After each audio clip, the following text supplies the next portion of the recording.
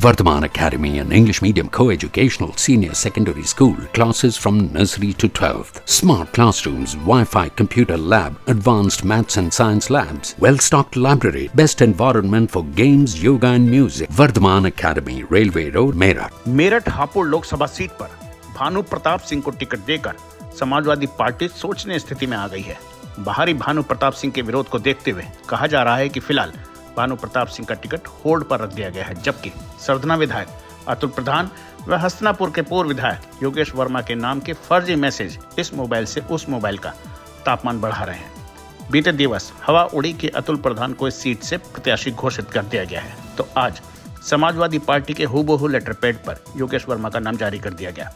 तेज़ी से वायरल इस आशय की पोस्ट का समाजवादी पार्टी ने खंडन करते हुए कहा है कि पार्टी के अधिकारी ट्विटर हैंडल से जारी सूचना को ही सही माना जाए, बाकी को नहीं। उधर कठौर विधानसभा क्षेत्र के एक व्हाट्सएप ग्रुप पर इस आशय की पोस्ट डाली गई तो खासा विवाद खड़ा हो गया। विधायक शाहिद मंजूर के हमेशा चर्चा में रहने वाले बेटे नवाजिश शाहिद मंजूर ने अख्तियार नामक युवक को हड़का दिया। इस आशय का ऑडियो वायरल हो गया तो फिर उसे और हड़काया। सफ़ाई देने पर जूते मारने की बात कही गई। इसकी शिकायत जब विधायक शाहिद मंजूर से की गई तो उन्होंने भी शिकायतकर्ता को यह कहते हुए हड़का दिया कि चल जा। नवाजिश ने कहा है तो ठीक कहा है। जो होता हो कर ले। इसके साथ ही तीनों ही ऑडियो मार्केट में आ गए और देखते ही देखते वायरल भी हो गए। अब पहले बात करते हैं भानु प्रताप सिंह। भानु प्रताप सिंह ईवीएम के विरोध को लेकर चर्चा में आए और मेरठ हापुड़ लोकसभा सीट पर दिग्गज नेताओं की आपसी खींचतान का लाभ उठाते हुए टिकट पाने में सफल हो गए। कहा जा रहा था कि 18 मार्च की शाम तक पार्टी इस पर नए प्रत्याशी का ऐलान कर देगी, लेकिन ऐसा नहीं हुआ। संभवतः यही कारण है कि आज भाजपा ने भी अपने प्रत्याशी के नाम की घोषणा नहीं की। दोनों ही दल सामने वाले के पत्ते खुलने के इंतज़ार में हैं। अब सुनिए, तीनों ऑडियो जो तेज़ी से वायरल हो रहे हैं, इसमें आक्रामक आवाज़ नवाजिश मंजूर की है, जबकि दूसरी आवाज़ शिकायतकर्ता की। इसमें नवाजिश को यह कहते हुए सुना जा रहा है कि टिकट इसका होगा या मंत्री जी? इसका मतलब योगेश वर्मा और मंत्री जी यानी शाहिद मंजूर। सुनिए।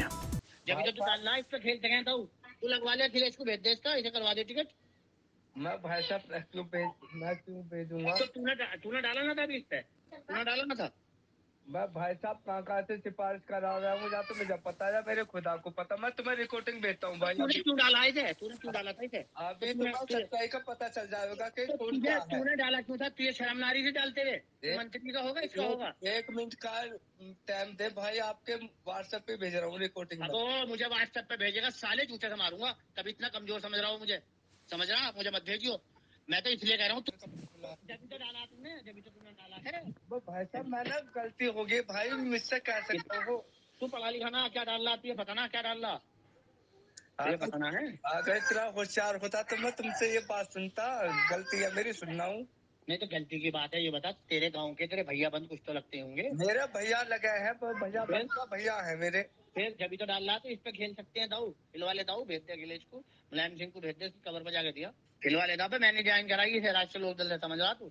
अच्छा। हाँ। नवाजी ने गाली बकी है तुझे? जो फ़ोन पर गाली बके चल बकी है तो बकी है। चल। जो कुछ कर ले कर ले क्या करे तुझा कर। मैं यार मुझे ज़बरदस्ती टेलीफोन करा मुझसे ही कह रहा कि मैं बम्बे में मिठाई बट रही है। मुझसे ही कह रहा बताओ इसमें रिकॉर्डिंग में तो सुन लो आगे मैं मुखालफत में अच्छा, होता। इस खबर में फ़िलहाल इतना ही। आप देखते रहिए फ़र्स्ट बाइट डॉट टीवी नमस्कार।